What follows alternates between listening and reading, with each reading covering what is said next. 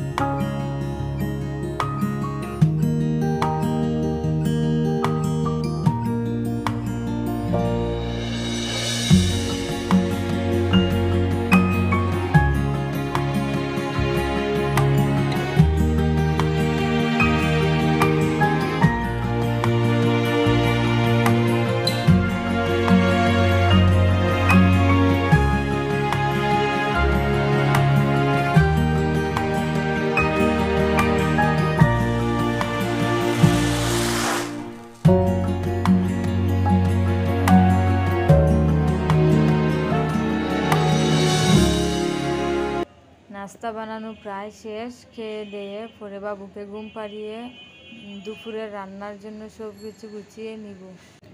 এটা হচ্ছে শুক্রবারের ব্লগ। আর শুক্রবারে আমাদের বাসায় যা যা রান্না করা হবে তাই আপনাদের সামনে তুলে ধরব। আজকে রান্না হবে পোলাও, মুরগির মাংস আর মুরগির কুরমা। এখানে পোলাও রান্নার জন্য পেঁয়াজটা আর গরম মশলা সব দিয়ে বেজে নেওয়া হচ্ছে আপনারা দেখতে থাকুন আমাদের সাথে থাকুন।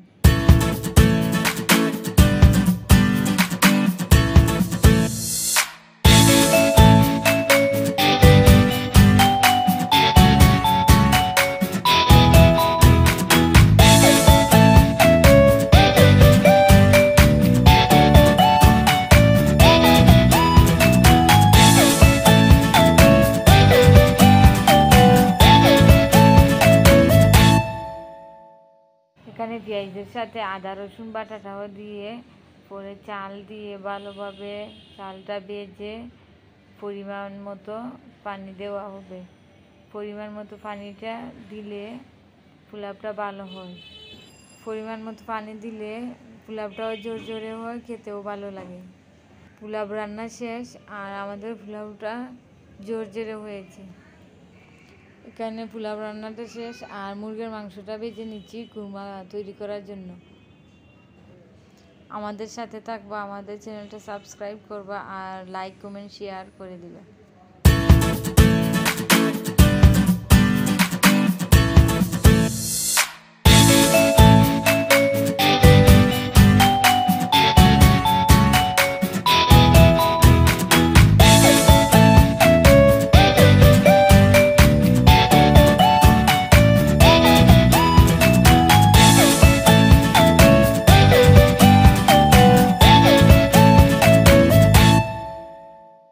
এখানে কুরমার জন্য মশলাগুলো বেজে নেওয়া হচ্ছে প্রথমে রসুন বাটা, আদা বাটা আর জিরা বাটা ভালোভাবে কষিয়ে নিয়ে পরে পেঁয়াজ বাটা দেওয়া হচ্ছে পেঁয়াজ বাটাটা ভালোভাবে কষিয়ে নেওয়ার পরে গরম মশলা দিয়ে দিয়েছেন।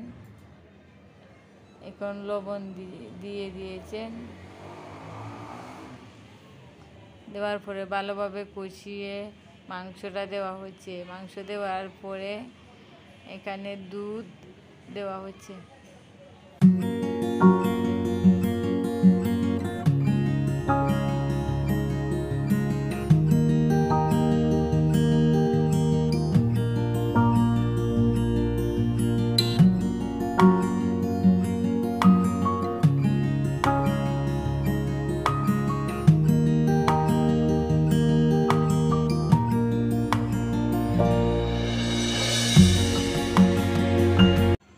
দেখতে পাচ্ছেন কুরমা রান্না শেষ। এখন মুরগির মাংসটা রান্না করে নেব। মুরগির মাংসের সাথে এখানে টমেটো আর আলু কেটে দেওয়া হয়েছে। পরে একে একে সব মশলা দিয়ে ভালোভাবে মেখে রান্না করা হবে। মাংসের সাথে টমেটো দিলে খুবই ভালো লাগে তরকারিটা। আপনারা দিয়ে দেখতে পারেন। আমাদের এই তরকারিটা খেতে অনেক ভালো লেগেছে। আপনারাও এভাবে রান্না করে দেখতে পারেন ভালো হবে।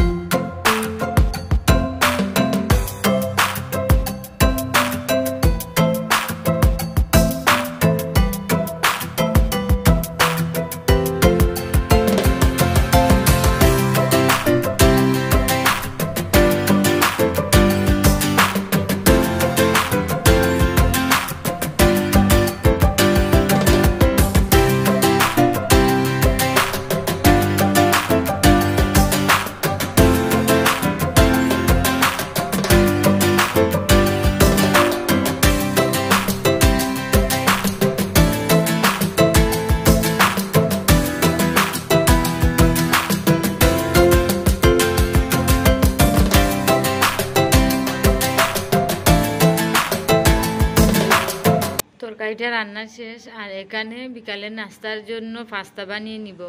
পাস্তা বানানোর জন্য সস, মুরগির মাংস ব্লান্ডার করে নিয়েছি, আর পেঁয়াজ কুচি নিয়েছি। সস নিজে বানিয়ে নিয়েছি ঘরের মধ্যে, খুবই ভালো হয়েছে সসটা, খেতেও খুব ভালো লাগছে। পেঁয়াজ ভালোভাবে বেজে নিয়ে এখন মাংস দিয়ে মাংসটাকেও ভালোভাবে বেজে নিব।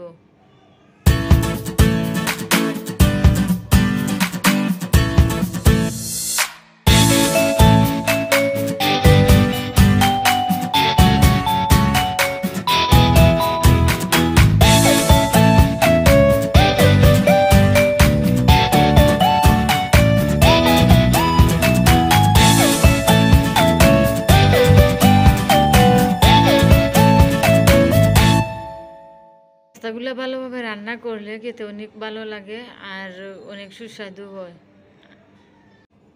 আর এখন পাস্তার মধ্যে দিয়ে দিব গোলমরিচের গুঁড়ো আর সয়া সস।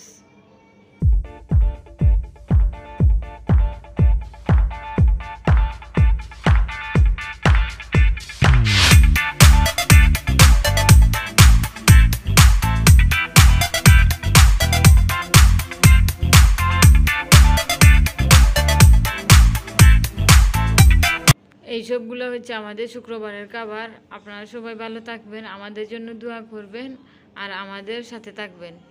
আল্লাহ হাফেজ।